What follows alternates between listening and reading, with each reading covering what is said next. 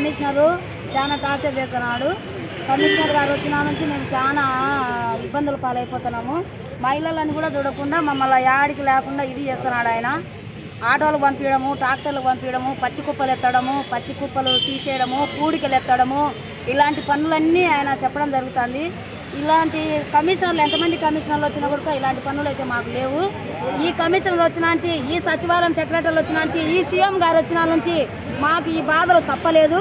ఈ బాధలను పరిష్కరించితే పరిష్కరించినట్టు. లేదంటే మేము రోడ్ల మీద కసువు అయితే ఎట్లా ఊడుతున్నామో అట్లా ఊడ్చడానికి సిద్ధంగా ఉంటామని ఈ కమిషనర్ గారికి హెచ్చరించడం జరుగుతుంది. ఈ సీఎం గారికి కూడా హెచ్చరించడం జరుగుతున్నది ఈ CM Kadapa municipal Kadapa municipal కార్మికులంటే చాలా చిన్న చూపు చూస్తున్నాడు. మమ్మల్ని చిన్న చూపు చూడొద్దయ్యా. నువ్వు ఈ కడప జిల్లా వరకే ఈ కడప జిల్లా వల్ల బాగుండబట్టే నువ్వు ఈ రాష్ట్రంలోకి రాగలిగినావు. ఈ రాష్ట్రంలో మళ్ళా ఉండి నువ్వు మళ్ళా ఏలాలంటే గినక నువ్వు కార్మికులను చిన్న చూపు చూడకుండా కార్మికులను పర్మనెంట్ చేస్తానని చెప్పినావు. అందరికీ నేను నేను సీఎం అయిన తర్వాతే మీకు పర్మనెంట్ అని చేస్తానని చెప్పినావు. ఆ పర్మనెంట్ చేసిన పాపాను నువ్వు పోలేదు. మా ఉసురు కొట్టుకొని మీరు పోక తప్పదని మేము ఈ రోజు హెచ్చరించడం జరుగుతుంది. మా ఉసురు మా పిల్లల ఉసురు మా ఉసురు కొట్టుకొని మీరు ఖచ్చితంగా పోతారని మేము చెప్తున్నాం సార్. ఖచ్చితంగా మా మా- మా మా కోరికలు నెరవేర్చి మా డిమాండ్లు ఒప్పుకొని మమ్మల్ని మా సంతోషంగా పెట్టినామంటే అందరి మహిళలను సంతోషంగా పెడతాను. మున్సిపల్ కార్మికులు అంటే గిన సంతోషంగా పెట్టలే. మేము చేసిన పాపం ఏమని మేము అడుగుతున్నాం. అసలైన కమిషన్ దించినావు.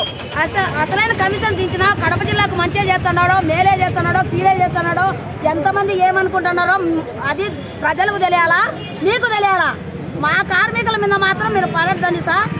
మా నాయకులు చెప్పినట్టు ఒకటి సెక్రటరీల కాడ మాస్టర్ అయ్యా మేము సెలవు తీసుకుంటున్నాం. ఈ రోజు మాకు ఇంట్లో ఆరోగ్యం బాగాలేదు మా ఇంట్లో ఫంక్షన్ జరుగుతుంది. లేదా మేము పెళ్ళిలో పోతున్నామంటే మీకు ప- మీరు ఫంక్షన్లు జరుగుతాయి మీరు సెలవులు ఇవ్వద్దు మీరు ఎందుకు ఇస్తున్నారు సెలవులు? నా కాడికి పంపించండి. హెల్త్ ఆఫీసర్ గారు మీరు ఎందుకు పెడతారు సంతకం? నా కాడ రమ్మనండి. అని చెప్పడం ఏందండి ఈయన? సెక్రటరీలను ఎందుకు పెట్టినట్టు? ఇంతమందిని పర్మనెంట్ చేయడం ఎందుకంట? ఇది అన్ని దృష్టి పెట్టుకొని కమిషనర్ సార్ మేము పనిచేయడానికి అయితే సిద్ధంగా ఉన్నాం.